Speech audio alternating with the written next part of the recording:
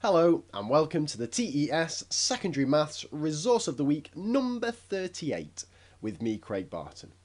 Now I'm recording this video on a Saturday in May and unbelievably it is a beautifully sunny day. The sun is beaming down. It's also the day of the FA Cup final.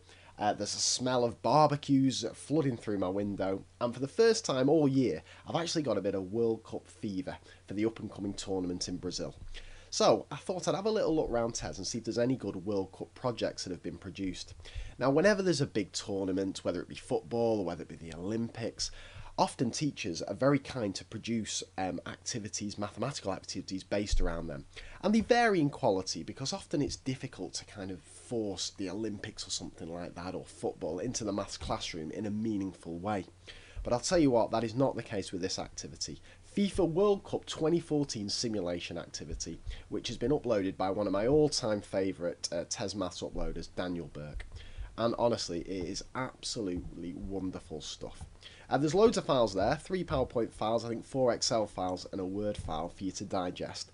And I've been looking at this for about half an hour this morning, and there's far too much for me to cram into this little five minute video. So what I'm going to do is give you a little flavour of it, and then I'd strongly advise you to take this away, perhaps share it with your department and think how you could best use this because this isn't just one of those things that fudges the World Cup in, in a maths lesson. It actually has got some really important mathematical messages behind it.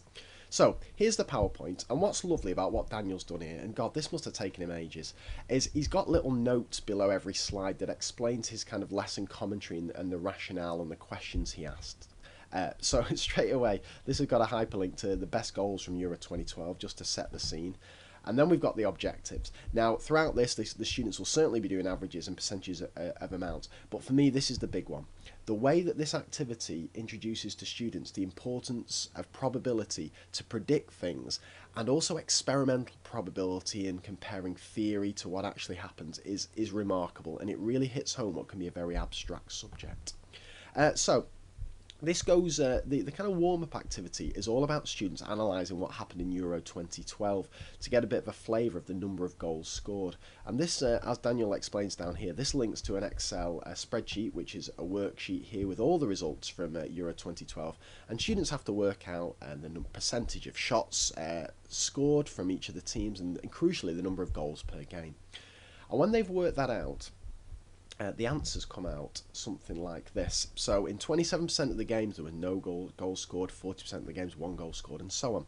And that's absolutely crucial because as the activity progresses, and I'm going to skip over a lot of stuff here, but um, Daniel gets the students to calculate that actually a good way of simulating uh, that, if I just uh, skip to this, a good way of simulating the actual number of goals scored per game is to roll a dice. And if you roll a dice six times, the probability of getting no sixes coming up is 33%, which is pretty close to the percentages uh, percentage of games where no goals were scored and the uh, probability of 1 6 coming up if you roll the dice six times is 40%, which is actually bang on the uh, from Euro 2012 data, the percentage of games where one goal was scored. And obviously, it's up to you the kind of pace and how you get the kids to, depending on the ability of the students, how you get them to calculate um, these probabilities. Maybe it's a tree diagram, maybe it's doing it all kind of abstract, maybe it's actually getting some experiments going with the dice themselves. But once they've got that theoretical underpinning, that they've now got a model that they can use to predict the number of goals per game, and then the fun really kicks off. Because Daniel's produced, um, I think, three different types of simulations, all at different levels that, that you can uh, do with your students for this. So this is the kind of traditional one, simulation one, and he shows how he set this up for uh, Euro 2012. And this involves students playing against each other. Uh, but it's got some lovely little twists here, and that if they roll a five, they get to roll again because they've got very close to the goal and all that kind of stuff. As I say, there's there's full rules in here, and Daniel has some great suggestions for commentary that you can get going with the students. But uh, um, I just wanted to jump through to some of this stuff because there's wonderful stuff. Simulation 3 is my favourite because the teams can get a bit dirtier. You can add a bit of physicality to your game. So there's full instructions, and I'll, I'll leave you to read it. But basically, you can attempt to uh, intimidate your opponents. And if you roll a four, they get four less chances to score. But then the referee comes into play and he's going to pick up on this. And this reminds me very much of, and those of you who've been following um, these videos for the last couple of years will know what a huge fan I was of the lobster game and the pirate game. And they're the kind of games that when you read them first, you think, flipping out, these are a bit complicated. And it takes you a while to get your head around.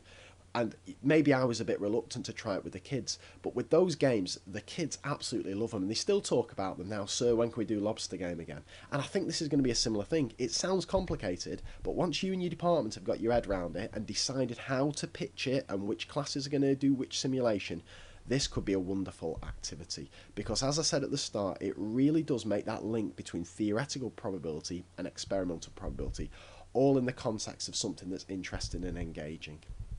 And I know there's the classic argument here that not everyone likes football and not everyone likes the World Cup. And I would never kind of force kids to do something that wasn't kind of applicable to them all. But I think there's enough mathematical justification to uh, justify rolling this out um, across Key Stage 3 and even Key Stage 4. So there you go. There's so much to digest. I've not even cracked open some of the other worksheets in this in this uh, video, but there's loads going on there. So give that a go. Um, it's already been proven very, very popular. And if you do use it and it's successful, or you've got some ideas, comments, or even thanks, just pop onto this uh, page and just, just share a few comments. And, um, and uh, I'm sure Daniel uh, would genuinely appreciate that.